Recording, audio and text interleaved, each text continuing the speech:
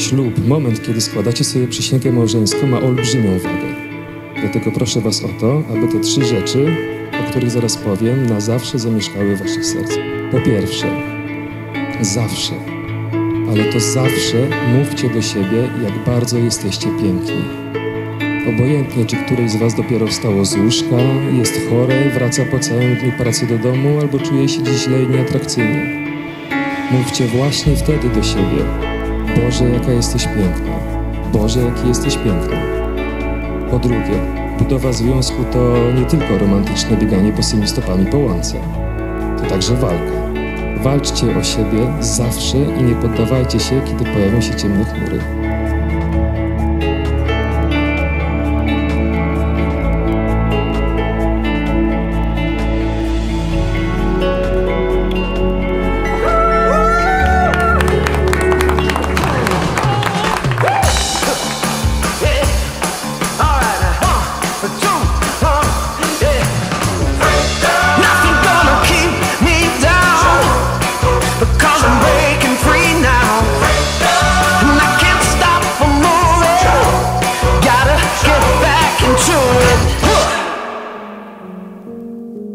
Po trzecie, kiedy ktoś będzie chciał się wtrącać do waszej relacji, będzie wchodził z buciorami waszą miłość i nie będzie wam życzył jak najlepiej.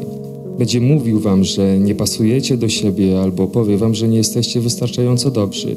Zamknijcie wtedy oczy i z uśmiechem na twarzy pomyślcie sobie, to niesamowite, jak bardzo mnie to nie obchodzi.